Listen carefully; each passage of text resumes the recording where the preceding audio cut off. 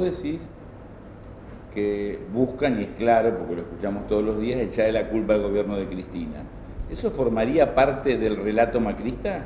Claro, hay un nuevo relato, es el relato macrista. Yo insisto, ¿no? que, un, que un gobierno tenga relato no es bueno o malo en sí mismo.